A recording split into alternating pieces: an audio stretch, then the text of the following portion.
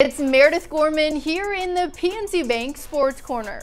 The Celtics are backing up Marcus Smart for his high level of play and lack of consideration for the NBA's Defensive Player of the Year award. After Smart put up a stellar defensive performance to help put the C's up 3-0 over the Sixers in the first round of the playoffs, he said, quote, that's me just being me the best defensive player in this league that I know I am, that my teammates know I am, and that my opponents know. So when I come into this game, I need to be that every single night.